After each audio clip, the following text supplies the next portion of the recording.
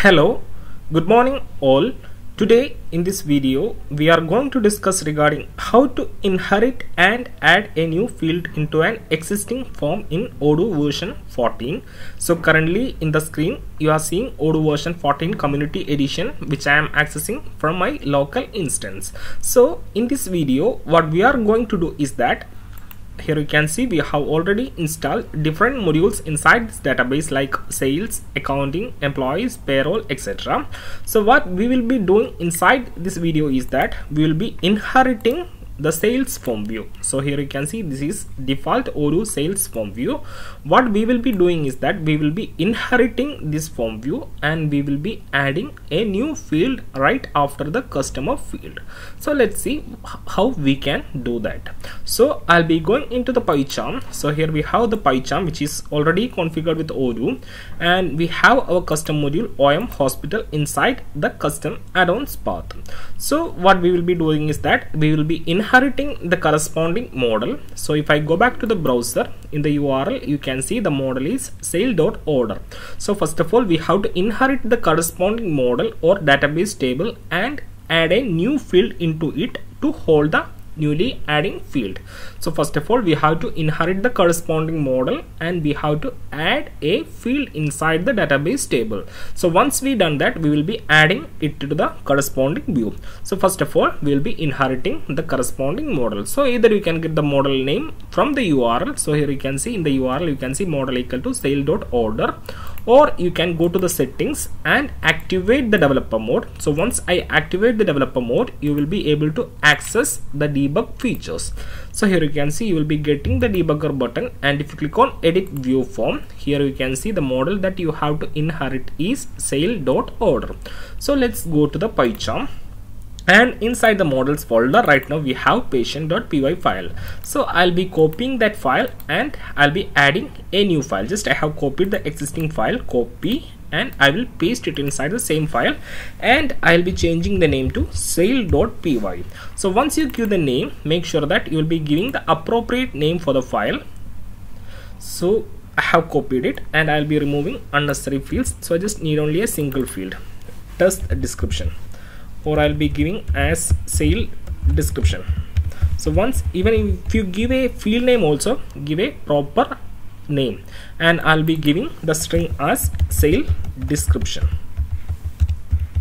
And I'll be setting required false so either you can set required equal to false or simply you can remove because by default the required will be set to false so that's done. Now we have to remove this. So you know instead of giving name so right now the name is used to create a new model. So right now we don't want to create a new model or we don't want to create a new database table. Instead we have to inherit the existing table. So you have to give inherit. We are going to inherit an existing table. So the table that we are going to inherit is sale.order so I'll be copying the corresponding model name and I'll be pasting it here that is I'm going to inherit sale.order also I'll be changing the class name.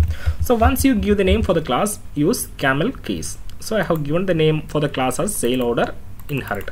So I have inherited the existing table and I have added a new field into it called sale description which is of type character. So the string is given. So I have added a new file here. So don't forget to import it inside the init file. So if you don't import it inside the init file it will not have any effect. So I have just imported the newly created file inside the init file and inside the file I have inherited the sale.order model and added a field called sale description. So I'll be just restarting the service now i'm go not going to add this field inside the view. Just we will be adding it to the corresponding database table. So i'll be copying the module name that is om hospital. So here you can see you are getting an error. Sale.order does not exist in the registry. So you are getting once you restart the service itself you are getting an error. Sale.order does not exist in registry. Because we are using the model inside an another module. Like we don't have a model called sale order inside our module. So if you check inside the odoo source code so i'll be copying this one. And here i have the odoo source code. And if i go and search inside the odoo source code for sale.order and if I search inside the Python so here you can see the filter option is XML I'll be changing it to the Python and you can see the name. So you can see it is defined inside a module called sale so we have to copy this name and we have to add it as a depends for our module. So i come back to our module and inside the manifest file we have an option called depends. So inside the depends I'll be pasting the corresponding module name. So you know we are inheriting a model sale.order which is defined inside the module called sale so we have to add it here. So here you can see right now we are getting error sale.order does not exist in registry. So I have added sales as a dependent module for our module. And I'll be just restarting the service and see whether we are getting the same error or not. So right now there is no error. Like sale.order does not exist in registry because we have added in the depends. So I'll be copying the module name now. And I'll be going into the UI and I'll be upgrading the module. So once you make changes inside the Python make sure that the service has been restarted. So as a new field is added definitely you need to upgrade the module for newly added field to get into the database table. So we have successfully added the field. Now let's confirm it. So i'll be going into the fields. So under the settings we have technical. And if you scroll down under the database structure and if it's in the fields menu i'll be doing one thing. I'll be copying the new field name sale description and i'll be searching here for the field sale description. So here you can see the sale description has been successfully added. And if you take the view metadata you can see it has been added from the OM hospital module. That is our module. So we have successfully added the new field into the corresponding model. So that's done. Now what we have to do? We have to inherit the corresponding form view. So after the customer we need this name. So we have to inherit this corresponding form view and add the newly added field into this view. So let's see how we can do that. So i'll be going back to the PyCharm and i'll be closing the models folder and the views will be added inside the views folder. So similarly what we have done for the models i'll be copying the patient.xml file and i'll be pasting with a rename like sale.xml so make sure that when you name the file give the name appropriately like sale inherit sale view.xml something like that you have to give always. And i'll be removing all the unnecessary records. So i'll be keeping or even I will remove this one and only keep this tag XML version 1.0 encoding UTF-8 and Odoo tag. And inside this one what we have to do is that we have to inherit the corresponding form view. So the form view that we need to inherit is this one. So we need to get its external ID so to get its external ID what you have to do is that you have to use the debugger button and click on edit view form. So once you click on here you can get the external id of the corresponding view. That is the id of this view is sale.view order form. So this is the form that we have to inherit. So before taking that value i'll be going into the odoo source code and i'll be just searching for a sample. I need to get name equal to inherit id so let me copy a template so that i can show you how to inherit an existing form view. Inherit id and let me search inside the xml. So here you will be getting a lot of samples that you can use. So i'll be simply copying a small sample. Yeah i'll be copying this one this record control c and i'll be putting inside this folder so that's done. And you can see the indentation is wrong. So if you need to arrange the indentation you can click on control a control alt l. So the indentations of the files will be all right. So i have aligned it correctly. And i'll be removing this section. And what i will do? So i'll be explaining the thing. So first of all this is how you can inherit an existing form view the syntax. So in the inherit id so i'll be starting from the inherit id in the inherit id you have to give the reference or the external id of the view that you have to inherit. So i have already told you can get the external id of the record that you have to inherit from here. That is external id equal to sale view order form. So i'll be copying this and I'll be pasting it inside the ref of the inherit ID. So I have given successfully the inherit ID. So we have to inherit this form. So we already have added sale you can see this view is added from the sale module that is sale dot so i have already added it added it inside the depends. So if we check the manifest file it's already in our depends. Now what we have to do we have to specify which model that we are inheriting. So to get the model name either you can get it from the url or you can get it from here. So i'll be copying that one and i'll be putting here so this is the main thing that we have to focus on. That is you have to specify the model name correctly and the inherit id also specify correctly.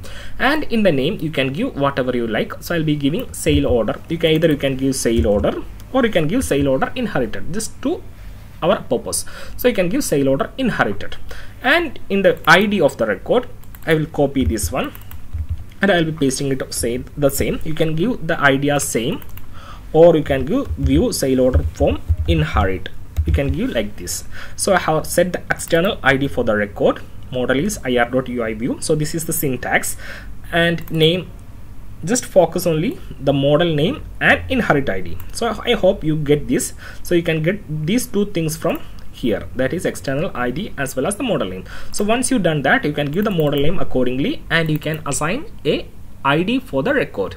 And the next line is field name arch type xml so this is the basic syntax. And inside this you have to give. Like where we need to show the newly added field. So i'll be adding a code. Field name equal to i'll explain what i'm doing. Partner id partner id position. Position i'll be giving after. Don't worry i'll be explaining what i'm doing. Field name equal to and I'll going into the models folder and from here I'll be copying the name of the newly created field. And I'll be coming here and I'll be putting here. So what I have done is that so we need to add new field into the view. So if i need to add this into the view i have to tell the position like where i have to add this field.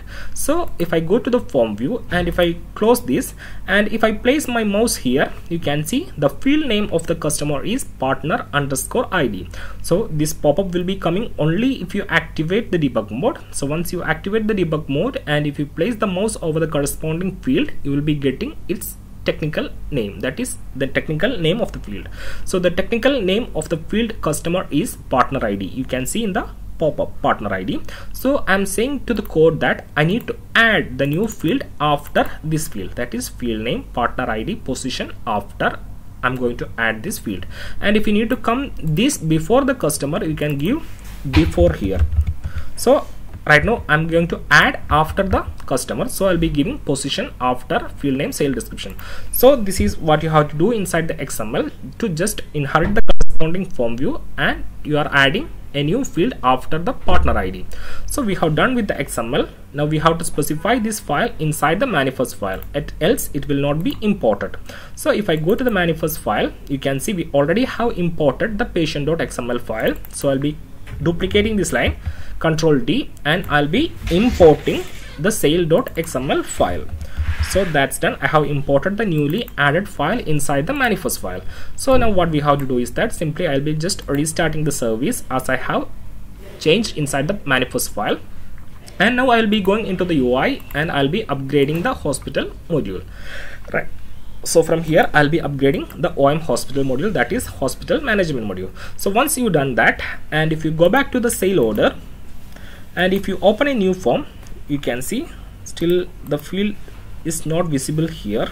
So let me check why it's not coming. And if I go to the edit view form the inherited views will be coming here. So here you can see the our view has been got added here but still it's not visible in the form. So let me check why it's not coming after the customer. So it's not coming here. Uh, let me check control uh, edit view form. And if I check the original form partner ID it's not visible here. So let me check. Might be the position issue. I'll be changing after the payment terms. Payment term id so instead of giving after partner id i'll be placing payment term id payment term id position after. So i'll be just restarting the service again and i'll be going into the browser and i'll be upgrading the module once again. So let's see what happens. So i'll be upgrading the module once again so let's wait until the module has been upgraded. Now I'll be going into the sales and if I open the form again still the field is not visible. So there is something wrong. So let me check. If I go to the edit view form inherited views the views is there but still the field is not visible here. So what it's the wrong?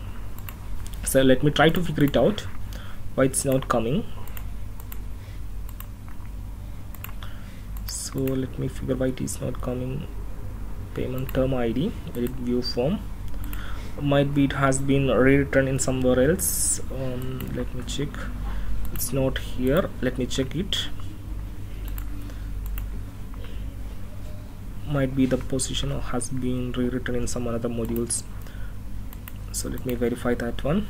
Position. We are successfully added the view here but still it's not showing in the view. So there is something wrong. So let me verify why it's not coming. So if you click on edit view form and if you search inside any other module position after